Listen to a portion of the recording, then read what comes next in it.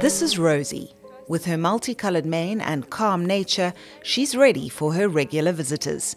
They're a group of children who make the trip from Langa to Hout Bay twice a week. The children face a variety of health challenges, from cerebral palsy and intellectual disabilities to severe autism. NGO Play on Wheels transports the children from their homes to the horses and has observed firsthand the benefits of equine therapy.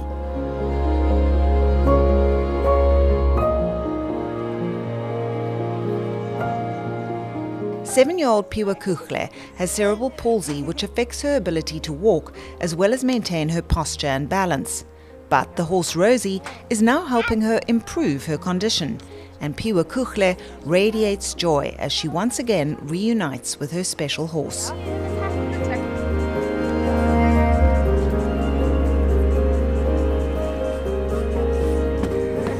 Occupational therapist Trish Hart uses a therapy intervention strategy called hippotherapy to improve the child's physical and cognitive abilities. Ready?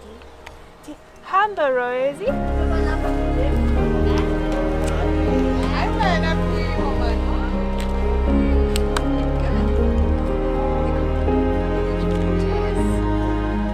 Just amazing to see how the horses interact with the children as well and how that movement really, when you're sitting on a horse, you're doing a lot. So just walking, you think, okay, you're just walking along on the horse.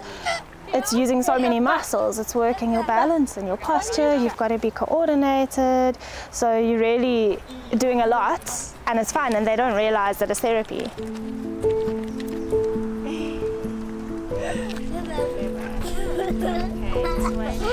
Hart says she's seen children make incredible progress with hippotherapy. I've seen children that have learned to walk because of being on the horse where the horse moves and they get that movement as if they're walking. Um, I've seen, I've had one child that when he started he was barely talking, he was just making a few sounds, a few words, and he's now talking so much. And just from starting to interact and talk with the horse and with us, um, and because it's so motivational. And we've seen children improve their balance and coordination, and just be able to do a lot more, to be able to move around, and yeah, be able to do more physically and to engage more. There's yeah, there's so many stories.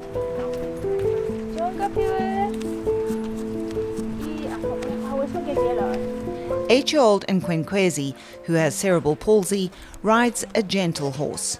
His name is Midnight. Nkwenkwezi struggles to sit up on his own, but lying on the horse activates his back muscles and improves his muscle tone. Humber Midnight.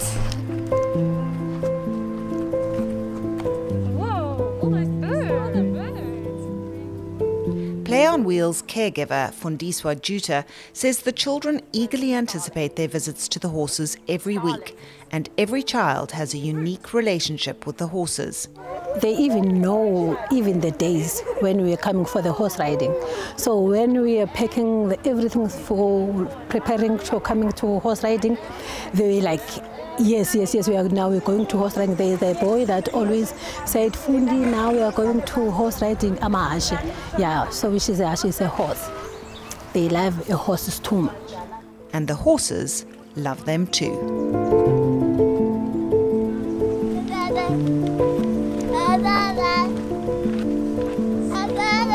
Show everyone.